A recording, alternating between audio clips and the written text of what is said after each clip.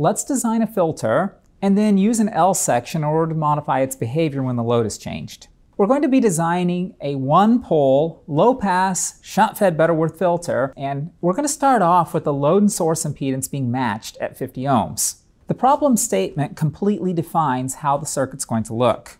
Let's first draw everything but our filter. I've drawn in the matched source and load impedances of 50 ohms. In order to fill in the filter, we just need to note that it only has one pole. A one-pole filter indicates that it's going to have either one capacitor or one inductor in the circuit. We're told here that it needs to be low pass and shunt fed. That means that the first and only circuit element that this filter has is going to be a capacitor in the shunt position.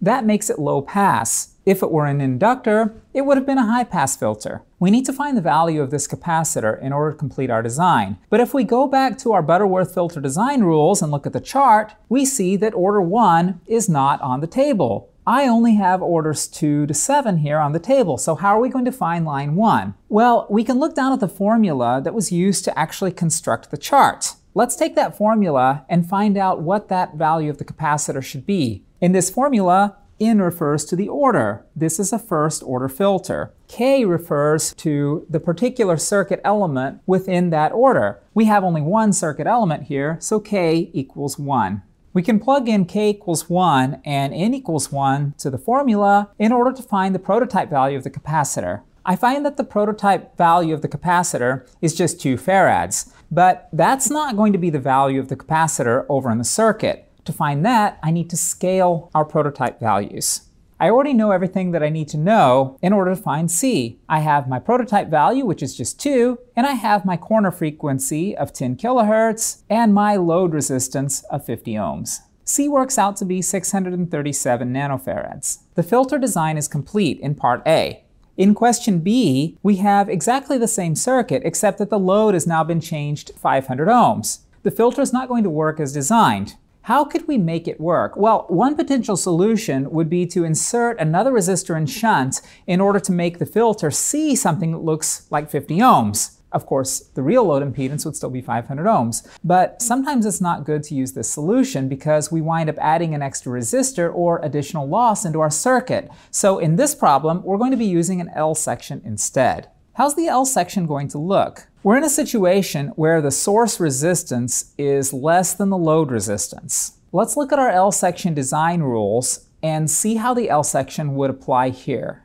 We're going to be using the design up at the top because the source resistance is smaller than the load resistance. We can then see how the elements ought to be placed. We're going to have reactive element number one in series and reactive element number two in shunt. Now let's copy down the two formulas from the design rules. The source resistance is 50 ohms and the load resistance is 500 ohms. Therefore, I have everything I need in order to find these two reactance values. Reactance 1 is plus or minus 150 ohms, and reactance 2 is minus or plus 167 ohms. We have two pairs of solutions. Let's look at both of them. In the first solution, x1 is positive and x2 is negative. That means that reactive element number 1 is an inductor and element 2 is a capacitor.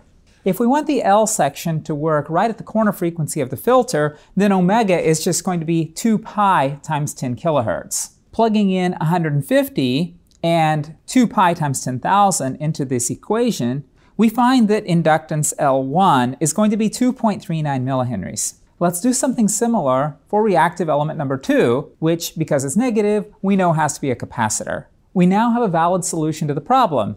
If x1 is just an inductor and x2 is just a capacitor at these values, then the L section will work as designed. How about the second solution? In the second solution, reactive element 1 is negative, therefore it needs to be a capacitor. Reactive element number 2 is then the inductor. Using a similar process as in the first solution, we find that capacitor C1 would need to be 106 nanofarads, and inductor L2 would have a value of 2.66 millihenries. Both of these solutions are equally valid. The key here is that you need to have one inductor and one capacitor, or vice versa, not two inductors or two capacitors.